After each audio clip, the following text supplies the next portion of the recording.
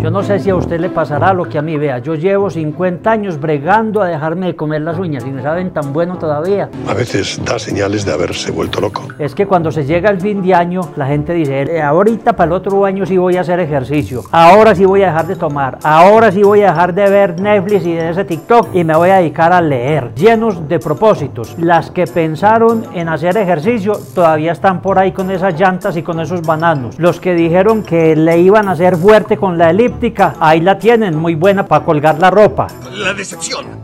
Eh, Los que dijeron que iban a leer son a las 11, 12, 1 de la mañana y cabeceando pegados del TikTok. Entonces, propósitos muchos, pero a la hora del té, nada. Mejor dicho, nosotros nos parecemos es a la historia de las ranas. Dice que iban tres ranas montadas en un palito por un río abajo y que de pronto una de las tres decidió tirarse al agua. ¿Cuántas quedan en el palo? Dos. Resulta que no, porque decidir es una cosa y tirarse es otra. Nosotros decidimos hacer ejercicio, dejar eh, de ver tanto Netflix, decidimos muchas cosas, decidimos dejar de tomar aguardiente y ahí estamos en las mismas, comiendo uñas, haciendo pereza, no hemos cumplido ningún propósito. Ahora sí viene lo chido.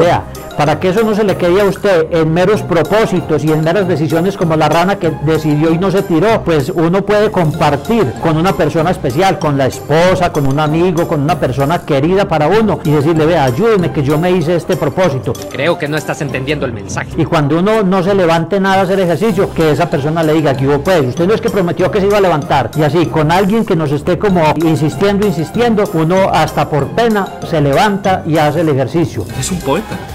Es un poeta. Compartamos nuestros deseos y nuestros propósitos con alguien que nos pueda ayudar. Y así esos deseos dejan de ser propósitos y se convierten en realidades. Recuérdenme como un héroe. Ok, ¿cómo la ve?